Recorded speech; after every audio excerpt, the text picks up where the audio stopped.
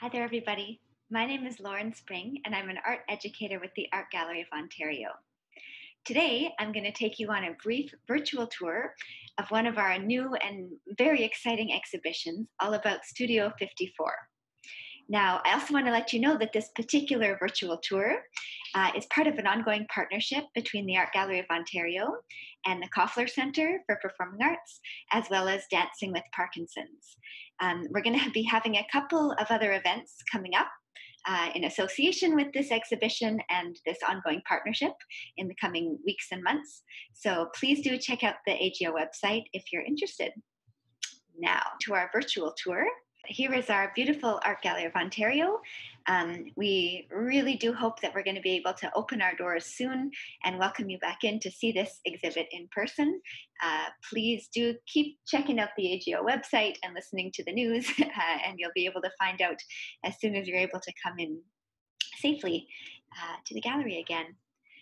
I also want to take a moment to acknowledge that the land that the Art Gallery of Ontario is on is the territory of the Anishinaabe Mississauga Nation and was also the territory of the Wendat and the Haudenosaunee. The Dish with One Spoon Wampum Belt Covenant is an agreement between the Haudenosaunee Confederacy and the Anishinaabe Three Fires Confederacy to peaceably share and care for the resources around the Great Lakes.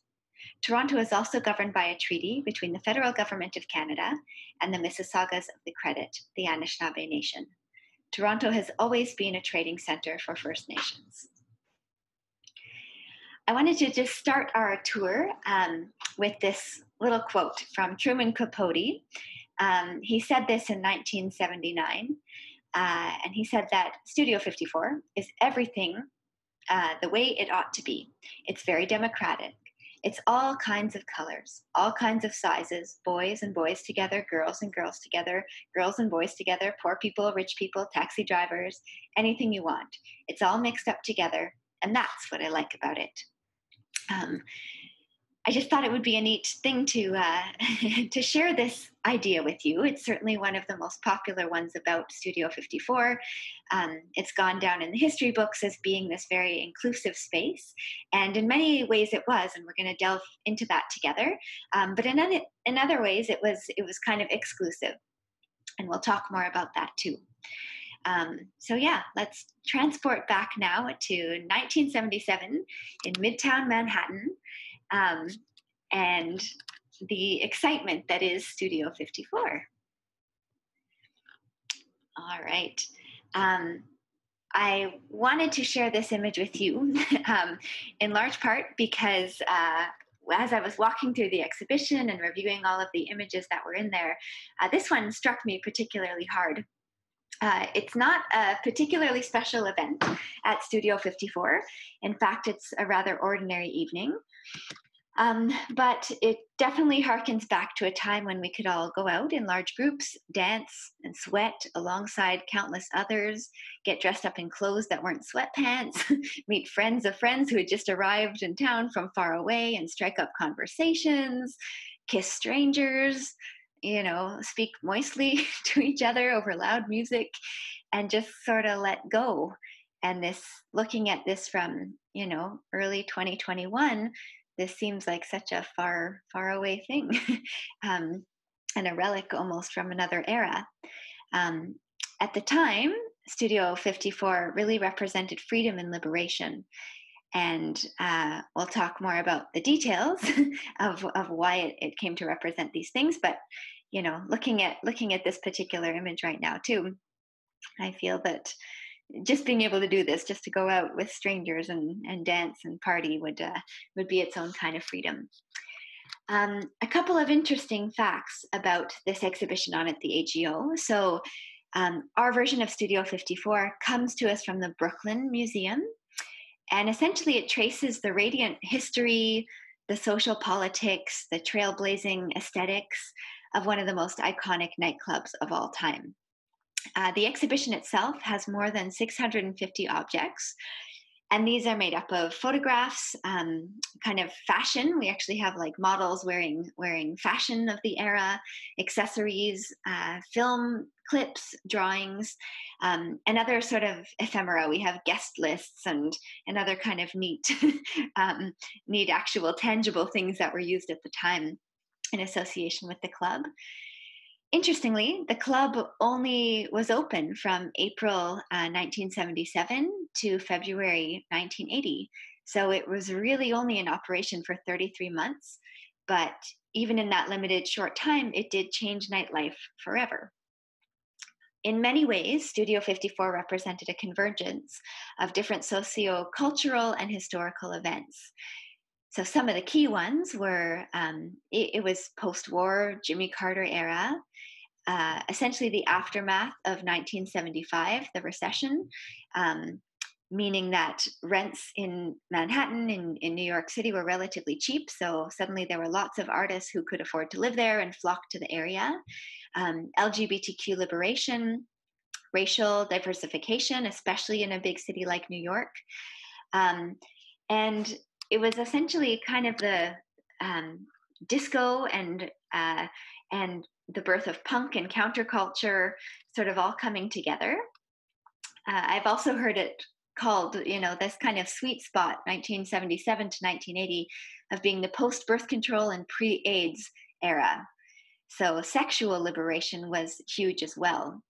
Um, and yeah, and I think large cities like New York um, were really forward thinking when it came to diversity, and these nightclubs played an important important role in America. And they fostered the congregation of people from across social, political, sexual, and financial strata. Uh, it was essentially opened by Steve Rubell and Ian Schrager. Um, and the, the studio itself, Studio 54, used to be a former opera house. And so, as we move through the slideshow together, you're going to see some images of um, how they transported and transformed, you know, what used to be a very theatrical place and different theatrical kind of iconic backdrops and everything into the nightclub atmosphere.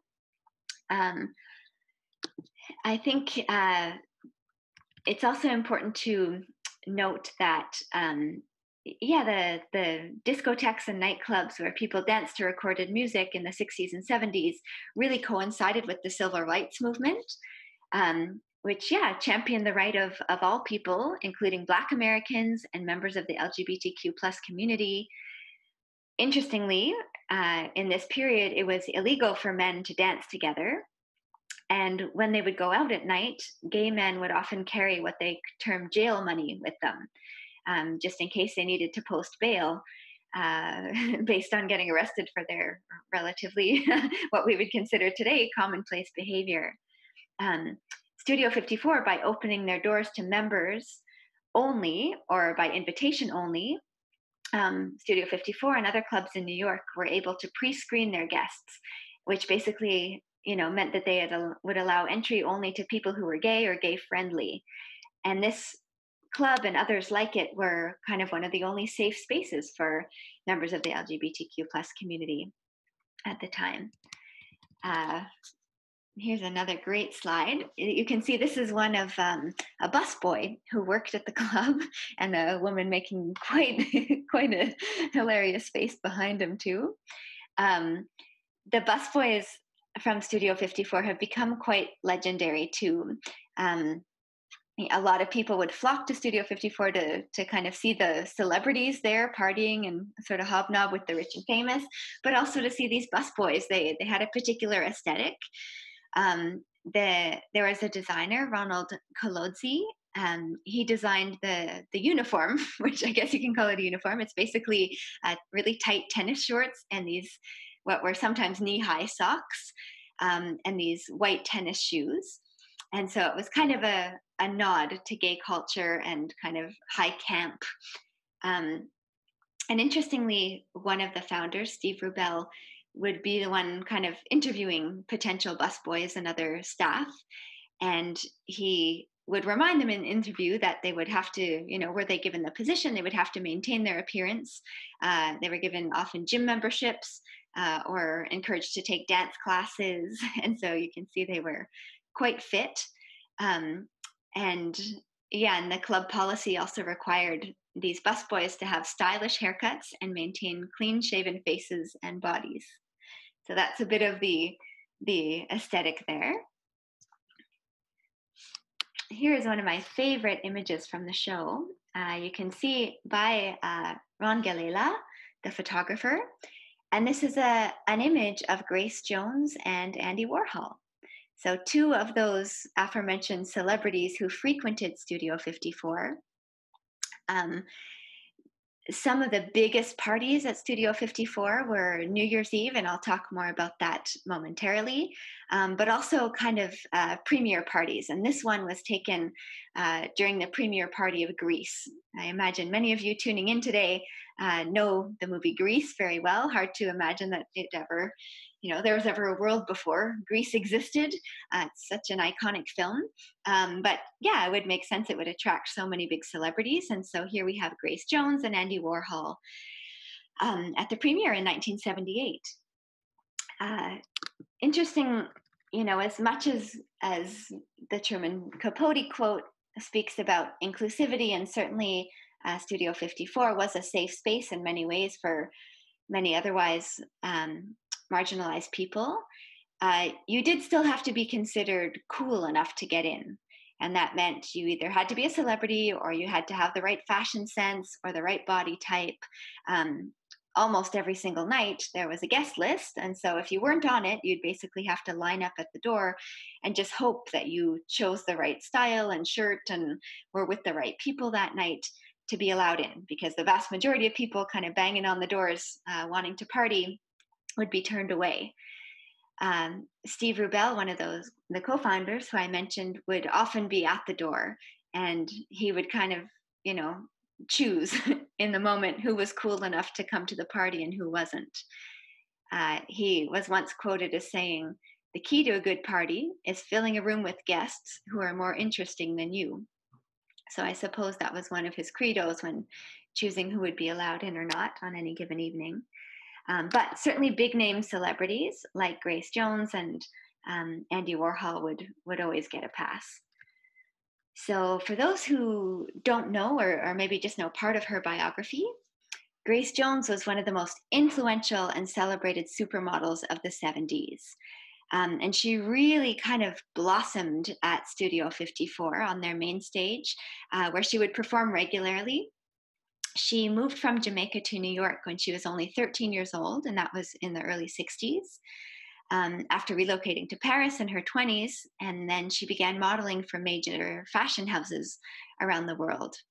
Um, it was in 1977, again, the year that Studio 54 first opened its doors, that uh, Grace Jones really began her music career. So it was really on the main stage of Studio 54 that she she grew as a musician. Uh, she also served as a muse for many of the designers who frequented Studio 54, including Norma Kamali, who we're going to be speaking about uh, a little bit later on in the tour, who would often make custom stage outfits for her iconic performances. Um, for her New Year's Eve party at Studio 54, uh, Kamali made a kind of very, very special outfit for, for Grace Jones and uh, that was one of the most iconic and, and memorable performances because she emerged actually from this large cobra's mouth uh, that framed the main stage. And she was holding a white uh, fox fur blanket on her. And for the next 20 minutes, she basically sang while she slowly did a striptease, removing layers of her outfit. And Jones was flanked by male dancers wearing breakaway pants, which she gradually took off to reveal jock straps and guns. So too bad we all missed that live show. um, I think it's interesting too that Andy Warhol uh, was such a, a, major feature of Studio 54. Those who are familiar with his work as a pop artist will know that he, you know, had a, a an obsession with celebrity culture, um, and uh, you know himself kind of played this role. Or was he sort of pretending to take on this this celebrity role? Was he actually being drawn into it and uh, enjoying the spotlight? Uh, and so it is quite neat to see how many times he appears in the photos of uh, in our in our Studio 54 exhibition. Um, they it was also you know a place where if you were to show up there one night and go to a big party it, and you were a celebrity or someone of note, um, your picture would most likely appear in the tabloids the next day. So um, Ron Galella, who took this picture, was actually one of the most famous tabloid photographers who frequented Studio 54. And he often worked in collaboration with not only the tabloids, but um, also the founders of Studio 54 and the owners and, and the other staff there. Um, you know, he he was known to be one of the best. He would take the most candid shots of celebrities. He interestingly would always carry two cameras. One would be black and white, and one would be color. Um, and he would basically shoot images in both because the very next day he'd go to uh, to sell them to particular tabloids and they all had different regulations sometimes they had to be black and white other times they had to be color uh, and so depending on uh, who he was submitting to the very next day uh, he'd, he'd you know submit an envelope of a black and white or a color uh, photograph.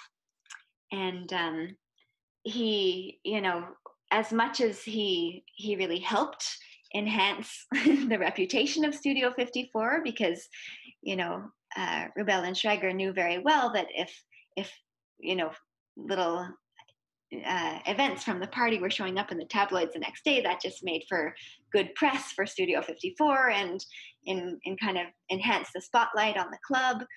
Um, but at the same time, Ron Galella was often seen as a bit of a pest. he was one of the kind of early members of the paparazzi, as we, we might think of it today, really hiding in places, trying to capture celebrities, not always in their most attractive moments. Um, he would often kind of elbow other people to get out of the out of the way. Um, and so he ended up being banned twice, but even still, in the exhibition, you'll see tons and tons of photographs taken by him. We have another example of one right here. So again, a photo by Ron Galella. And this one is a, is a photograph of Bianca Jagger. And this was on the occasion of her birthday party. So she was the wife of Mick Jagger. Um, and in May of 1997, uh, there was this big birthday bash that was thrown for her. It was well attended, it garnered much media attention. Um, there were pictures in the tabloids the next day of her feeding cake to Mick Jagger. It appeared on the front page of the Daily News. Um, inside that issue, there was a spread, a full page spread titled The Wee Hours, High Times. And it showcased a photo of Bianca Jag- Jagger um, on, on the riding in on a white horse, um, which is how she kind of entered her own party. And um, this is one of the most iconic images of Studio 54 now, her on the white horse. And we do have that one in the exhibition as well. So you can come check that one out in person. And this is another one from from the party. So you can see lots of lots of interesting things happening there. The other uh, the other person who's here beside her in the little bow tie is Steve Rubell. So again, one of the founders and co-owners of Studio 54. And um, uh, he, you know, had his own really interesting story. Him and Schrager, uh, you know, were highly celebrated and then ended up being charged with tax evasion and a variety of other crimes. They had to pay fines and um, also ended up both serving prison sentences. They were in, in jail, the two of them, from February 1980 into uh, April 1981 and it was you know it's a big long story but quickly after that studio 54 was sold and then shut down. So it was really just this kind of 33 month uh, period where it was it was in its heyday. Um, and when he was released from prison 1981 um, that also happened to be the same year that aids was really discovered um, that's the year that the first article um, about the virus appeared in the new york times the article was titled A Rare Cancer Seen in 41 Homosexuals. Uh, in the coming years, AIDS related illnesses would claim the lives of many friends of Studio 54. So it took a really heavy toll, obviously, on those who were partying there and, and part of this kind of sexual liberation movement. Um, and Steve Rubell himself ended up dying of, of AIDS uh, in July of 1989. And interestingly, he had learned years earlier that he had contracted HIV, um, likely from you know shenanigans and encounters at Studio 54 itself. But um, after his death, because of the stigma that was surrounding AIDS and HIV, uh, his actual obituary listed that his cause of death was hepatitis and septic shock, not not AIDS. And I think you know we can all probably understand why that was the case at the time. But certainly since then, those close to him um, have have revealed what what most suspected and, and many confirmed. We have another really great photo here by Ron Galella once again. As I mentioned, you can see some are black and white and then others in color, depending on the, the tabloid he was attempting to sell them to. so this one here is of Margaret Trudeau. So some Canadian content in this show. Um, so we, many Canadians probably know who Margaret Trudeau is. Uh, she now today is known as the first woman in history to have been wife of one Canadian prime minister and the mother to another, interestingly. Um, and she was a, a real regular fixture at Studio 54. Um, there was a very large age difference between her and Pierre Trudeau. So he was 29 years older than her. And she married him when she was only 22. And uh, he certainly had a reputation for being charismatic and you know, a partier, and uh, and she lived up to that as well. And um, she didn't want to conform to regular conventional notions of how the wife of a politician should behave in public. And you know, she kind of famously would often smoke pot in front of her security detail, and she would often spend nights partying with the Rolling Stones.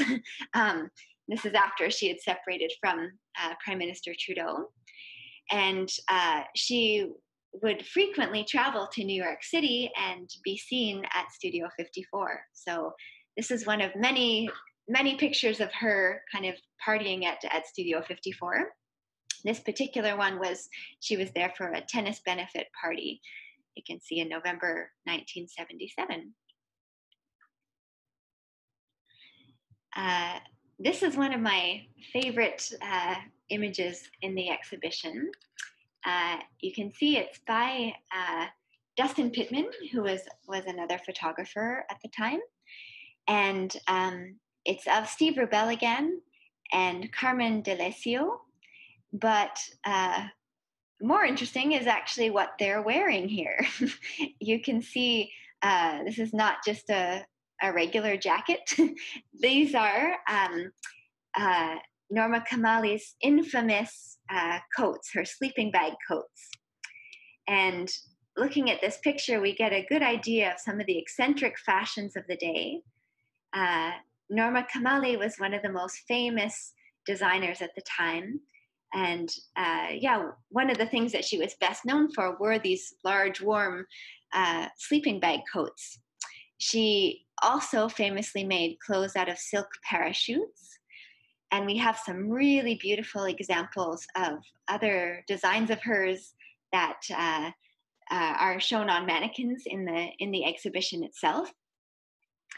So in this photo, um, uh, like I mentioned, we can see Steve Rubell and Carmen D'Alessio, and and uh, D'Alessio was an actress and a nightlife lover, and while she you know hasn't gone down in the history books as being an official co-founder of Studio 54 uh, she she really was a key player, and there's been some interesting research in recent years talking about her involvement in um, you know making Studio 54 happen. She fortunately avoided uh, prison. uh, herself along with the the other founders but uh, her own history is quite compelling too and kamali's influential designs of the 1970s um, are frequently reeditioned today. So her these styles, even though you might not see lots of folks walking down the street wearing these sleeping bag coats, um, the styles really do live on. Um, and one of there's an excellent quote by one of Steve Rubell's assistants um, who speaks to how and why these sleeping bag coats were invented. And uh, she recalls her experience uh, first encountering them. She says, Only a few women worked at Studio 54 during the day. The best perk of all was that we were invited to Norma Kamali's seasonal sample sales. We knew Norma's story, how she was literally on her own with nothing left after a divorce, except a sleeping bag in the middle of an empty living room. Hence the inspiration for the sleeping bag coat. Um, and then she goes on to say that after Ian and Steve's studio closed, after Studio 54 closed down, after uh, the charges and prison and everything, that all of the staff faced a very bleak decade, scarred by the fear of AIDS and the deaths of loved ones. And um, Myra Scheer says that during the darkest times of my own spiritually empty living room, I literally slept in that coat. It was my comforter then, and today it remains an inspiration uh, which you know I think perhaps we can relate to today. I think many of us are maybe over the past 10 months, maybe now you're feeling good, but maybe over the past 10 months at some point, you know, you had a dark moment, you've been huddled up inside and in something cozy just for comfort. And uh, you can see why these sleeping bag coats might have provided that for many who were really struggling at the time. This is another great image here. Um, this, I think, really shows the theatricality of Studio 54. In a, in a brief slideshow like this, I can't do everything justice, but certainly once you're able to visit the exhibition and you, you see the films, especially uh, just yeah how these events transpired and uh, and just the the the pomp and the circumstance surrounding uh, just being there it was this this interesting hybrid of of sure it was a discotheque and a nightclub but it also felt like you were kind of at a broadway show and there were set pieces that were borrowed from broadway and set designers who you know worked in in films and and theater and uh, so it was just this real kind of hard to define hub of of creativity and um, art. Um, and so this was a one of the most iconic images of Studio 54.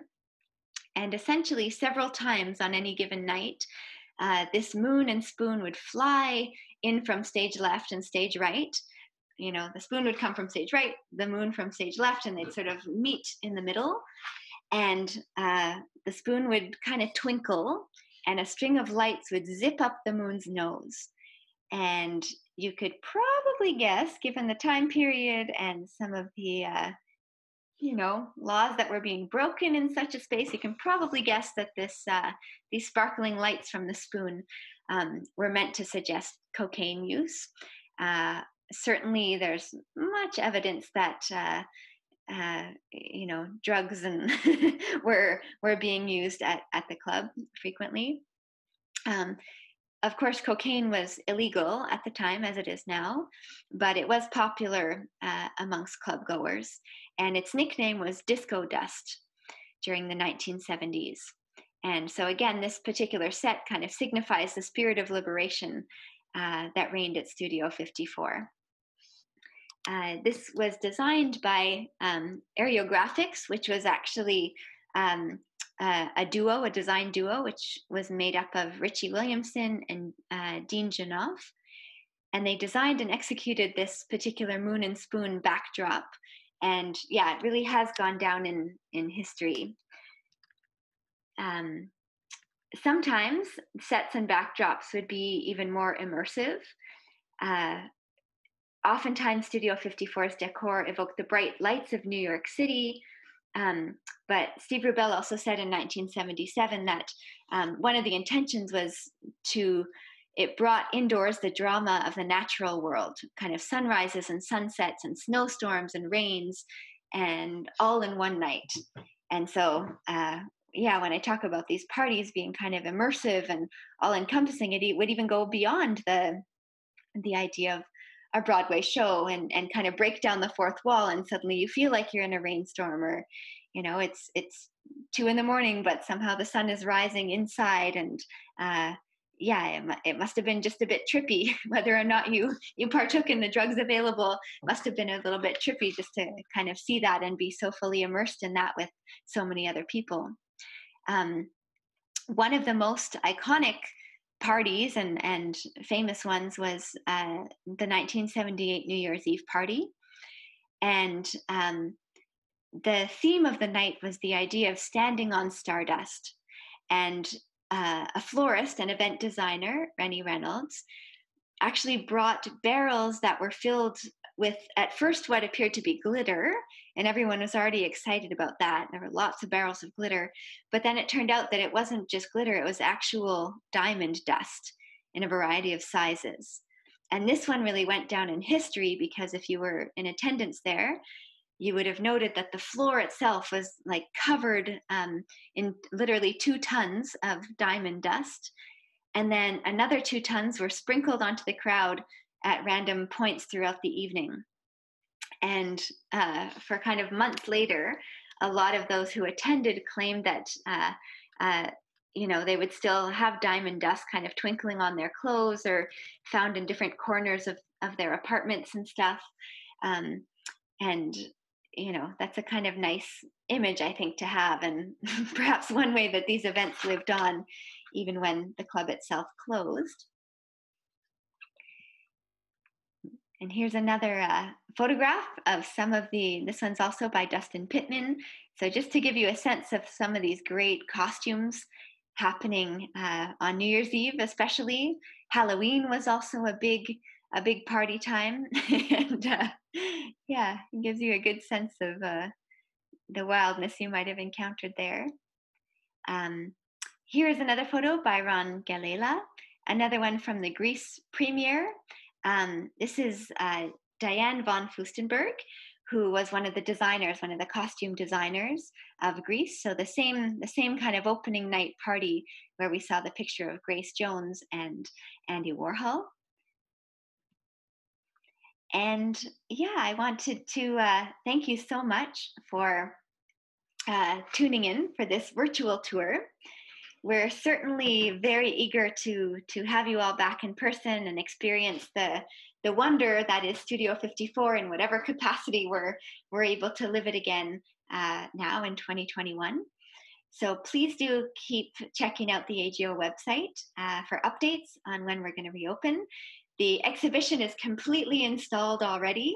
And so essentially we're just waiting waiting for the go ahead from the government to invite folks back in and all safety measures will be in place. Um, but yeah it's really worth seeing because this was just a brief little taste but we have 650 other objects films photographs um, costume pieces everything uh, that we're really hoping that uh, you'll be able to come and see sometime soon so thank you all again very much for, for tuning into this little virtual tour. And uh, we look forward to seeing you soon. Take good care, everyone.